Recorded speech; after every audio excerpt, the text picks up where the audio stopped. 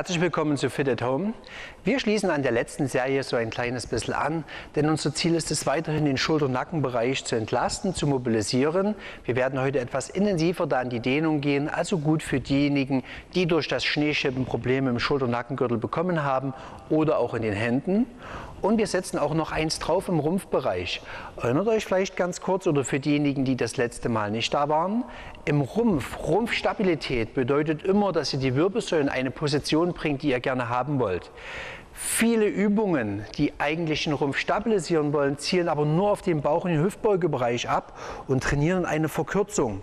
Das hilft euch nicht, weil dadurch die Probleme im Unter- und Rückenbereich mehr, wert, mehr werden.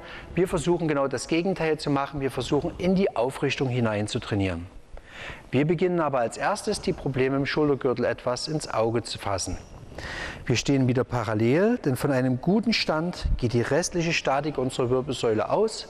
Wir lassen die Arme schön locker, sinken einmal zusammen und rollen langsam vom Becken über die Lendenwirbelsäule auf, schieben wir den Hinterkopf zur Decke und das Kinn zum Kehlkopf. Noch einmal. Wir sinken zusammen, rollen auf, werden ganz sehr groß, kreisen locker mit den Schultern nach hinten und senken ab. Wir kreisen locker mit den Schultern nach hinten. Ihr wisst vielleicht noch von den letzten Mal, dass wenn hier akute Probleme sind, versucht ihr locker viele Wiederholungen zu machen und auch gern über diese Zeit hinaus zu gehen, mit der wir bei euch hier trainieren. Also eine gute Mobilisation bei akuten Problemen im Schulter-Nackenbereich können ruhig mal 10, 15 Minuten andauern. Wir werden uns heute bei circa 5 Minuten einjustieren. Das heißt also, wenn ihr jede Übung doppelt so lang macht wie wir hier, seid ihr in etwa bei 10 Minuten. Wir senken die Schultern aktiv ab.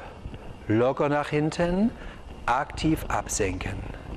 Denkt dran, schön groß zu bleiben, den Hinterkopf dabei in Richtung Decke zu schieben und das Kinn leicht zum Kehlkopf. Ab jetzt arbeiten wir im Wechsel und beziehen das Schulterblatt gut mit ein. Wir bereiten also wieder die Zone im Schulter-Nackenbereich richtig schön vor, aber betonen das Absenken. Trainieren also schon in eine ganz leichte Dehnung der Nackenmuskulatur. Weit nach unten mit den Schultern. Weit nach unten mit den Schultern. Weit nach unten mit den Schultern. Weit nach unten. Einmal noch auf jeder Seite. Und wir schenken die Schultern ganz weit ab. Stellen beide Hände an. Der Oberkörper bleibt stabil, der Hinterkopf zur Decke geschoben und wir ziehen beide Schultern ganz wenig an und schieben die fest nach unten. Leicht nach oben, fest nach unten. Auch hier es ist eine sehr schöne Übung, die euch hilft, die Spannung aus dem Nackenbereich herauszuholen und dort für eine Entlastung oder eine Schmerzfreiheit zu sorgen. Zieht leicht an, schiebt fest nach unten. Zieht leicht an, schiebt fest nach unten. Noch zweimal, fest nach unten und das letzte Mal fest nach unten. Lasst die Schultern tief und lasst die Arme locker.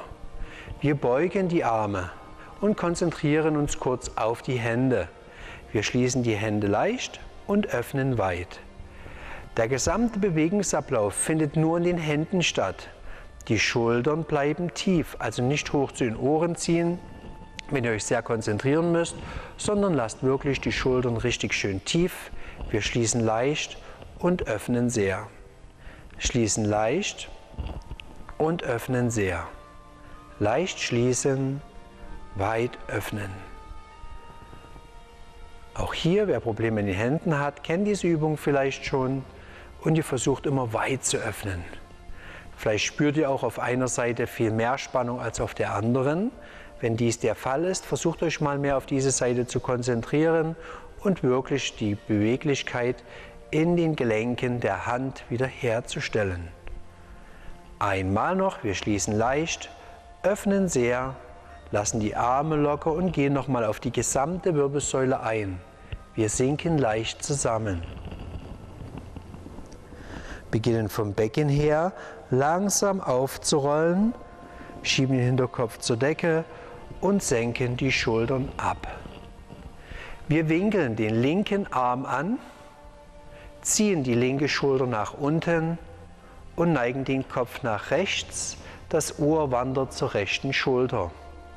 Wir beginnen immer, wenn wir ausatmen, die Schulter etwas tiefer zu ziehen. Leicht nach oben lassen, aktiv nach unten. Leicht nach oben, aktiv nach unten.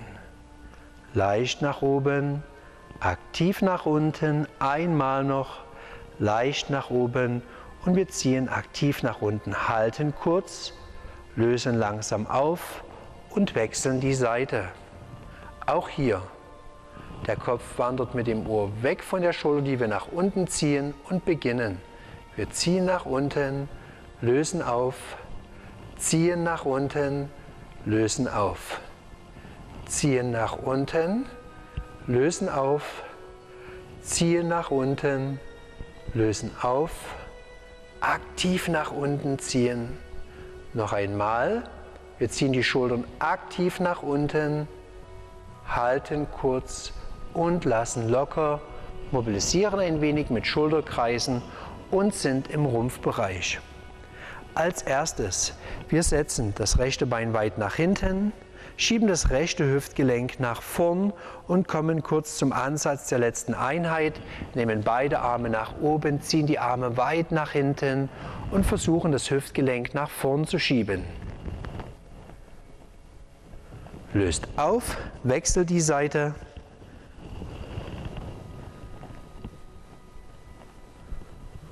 Und wir stellen wieder beide Beine nebeneinander. Der Abstand zwischen den Füßen kann ein bis zwei Handbreit Abstand sein.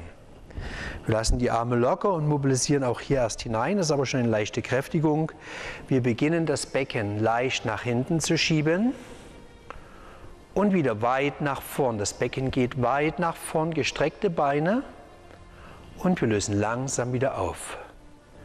Weit nach vorn und leicht nach hinten. Weit nach vorn, leicht nach hinten. Die Bewegung des Beckens nach hinten ist so, als ob ihr hinter euch einen Stuhl habt und euch auf diesen Stuhl absetzen möchtet. Denn wir versuchen zu verhindern, dass die Knie nach vorn gehen. Ziel ist es immer, dass das Becken sich nach hinten neigt, ohne dass die Knie nach vorn wandern. Wir kommen wieder nach oben und kommen zu unserer Zielübung. Wir gehen mit dem Becken nach hinten, nehmen die Arme nach oben, stabilisieren kurz. Die Blickrichtung dabei ist vor uns so circa ein bis zwei Meter auf den Boden gerichtet. Damit ist die Wirbelsäule in der Form, wie wir sie haben möchten. Und wir beginnen mal kurz mit den Händen wechselseitig zu arbeiten. Wir stoppen, lösen auf. Jetzt kann es sein, dass diese Übung sehr schwer für euch war.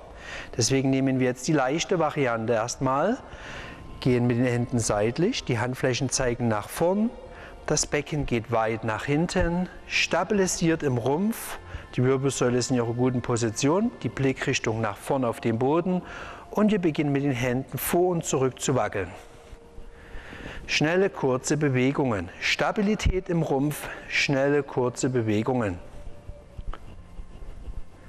Wir stoppen, lösen auf. Die mittlere Stufe bedeutet, dass ihr die Arme angewinkelt in Seithalte nehmt.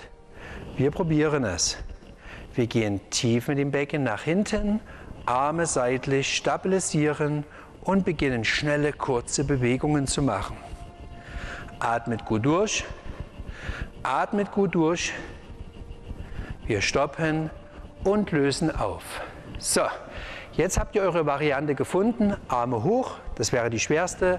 In der Mitte wäre mittel, unten wäre leicht. Ihr wählt jetzt die Position, die für euch funktioniert. Auf geht's. Wir gehen mit dem Becken hinter. Ich nehme die mittlere Position mit. Los geht's. Schnelle, kurze Bewegungen. Arbeitet bitte mit den Armen weiter. Stabilisiert im Becken und im Rumpf.